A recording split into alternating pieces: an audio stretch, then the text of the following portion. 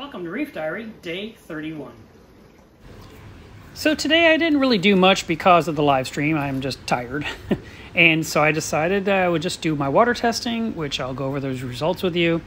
And I fed the fish. So these are the four packets of food I use each night when I feed my fish. And I'm feeding fish in three different aquariums.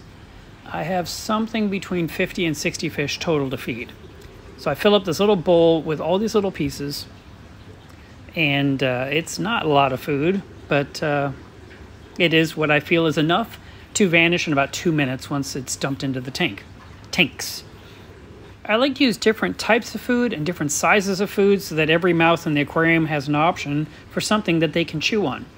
For example, when I get to this krill here in a moment, you'll see that I tear it up rather than just putting in full-size krills. In the past, I would put in the regular ones right out of the container into the water and let it thaw, and Spock would eat them.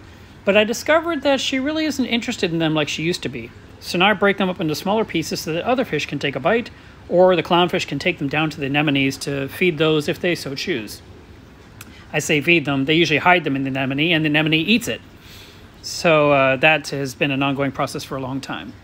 I'll add a little bit of tank water to let it thaw, and then in about 10 minutes or so, it is ready to use. The food itself, I don't dump out the liquid because I feel like everything that's been thawed out, the oils that came off the PE mysis, all that is beneficial for my tank. Yes, it adds to the nitrate and phosphate, but it is food for the corals, not just for the fish. So I don't rinse it out. I just put it directly into the tank and make sure that everyone gets what they need. And I try to make sure everyone's getting a good meal every single night. Feeding time is really the only time you get to see all these fish in the anemone cube, so I wanted to make sure to include that in today's diary. Water parameters wise, uh, alkalinity, according to the Trident, is 9.05. According to my test kit, it's about 9.5. Calcium is 420, magnesium is 1400, and uh, nitrate is 20, and phosphate's 0.25.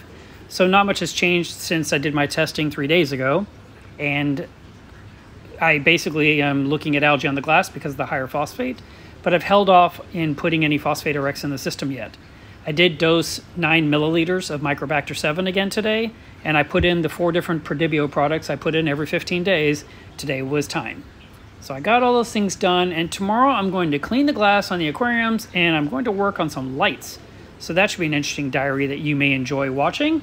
If you're new to the Reef Diaries, let me just tell you that I do a short one every single day talking about what I did with the tank that day, and I encourage you to subscribe to this channel so that you don't miss a single episode. I've been adding these diaries to a playlist so that way you can actually start from the beginning and work your way forward if you so choose. As I said in the beginning, this is number 31, so you have 30 other days to check out if you'd like and kind of see what's been going on. The lighting over the aquariums will be shutting off soon, but because it's a full moon outside, I may see some extended moonlight periods over my various aquariums due to the sky and the radion schedules.